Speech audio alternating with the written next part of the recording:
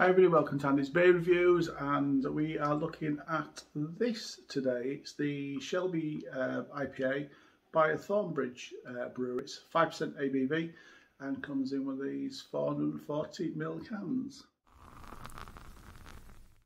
Yes, hi there. Remember, like, share, subscribe, comment, all that good stuff. It really helps us content providers and it helps me understand the content you like.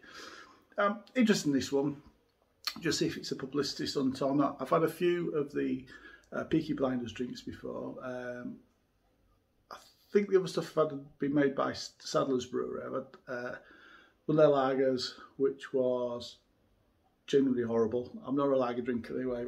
I, I felt like their lager was really terrible lager, very weak, very poor. And I've had their um, Dark Spice rum, which was unbelievably good. Uh, if you're a rum fan, if you're if you're a dark rum fan or a spice rum fan, definitely seek out the Peaky Blinders one. It's it's lovely. This one um, I had before. It's obviously based on the um, Peaky Blinders TV show, which started in 2013. What they've tried to do with this one is rep try and represent what an IPA would have been like in the 1920s. So to do that, they've used uh, the Fuggle hop and the Bramling Cross. So from the Fuggle, I suppose we're expecting floral, grassy notes to come through, but fairly subtle. Um, from the uh, Bramling Cross one, um, I'm expecting some lemony flavours to come through and maybe a little bit spicy.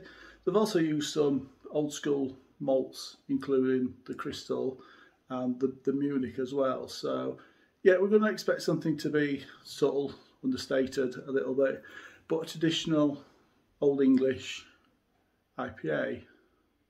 Should be good.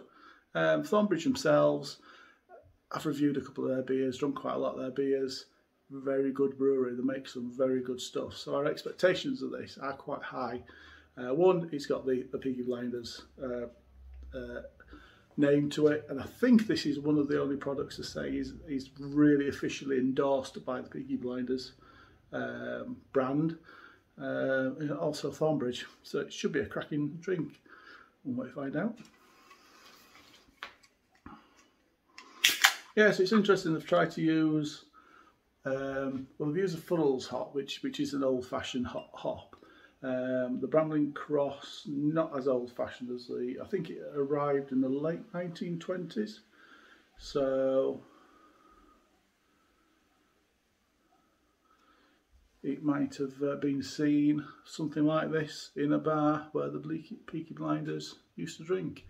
So let's have a look. It's um, clear, very nice golden colour, good two finger fluffy white head. Um, a lot of carbonation still going on in there, a lot, a moderate amount of carbonation still going on in there, but the fairly large bubbles on that head. So um, I, th I, think it's going to thin out fairly quickly. May leave a little bit of lacing, may, may not. Let's get our nose in there, shall we? It's woody, it's grassy, it's sweet, floral. There's maybe, there is fruit. Getting peach, definitely getting some peach and, and a little bit of lemon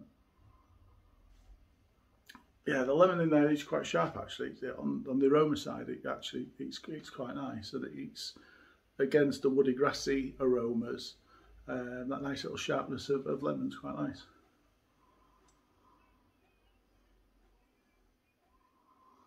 Quite like that. Let's uh, taste it. Cheers, everybody.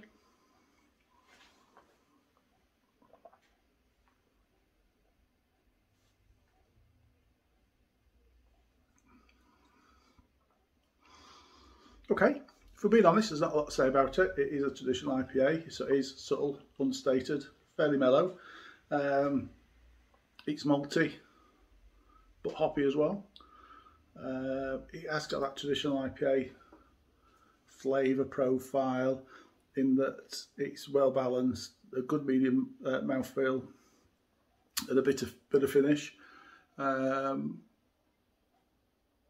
yeah, there's, it's satisfying. There's, there's not a lot more you can say about it, but it is actually very, very tasty. It's 5%, so it is a sessionable, easy drinking beer.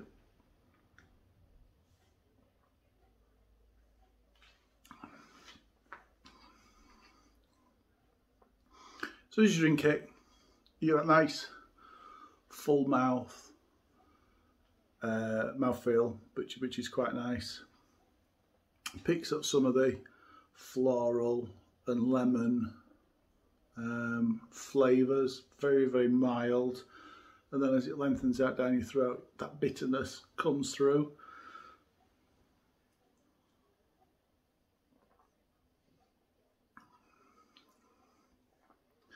It's, it's very nice, easy drinking. It's not as good as um, other Thornbridge brews. Probably wouldn't expect it to be, to be fair.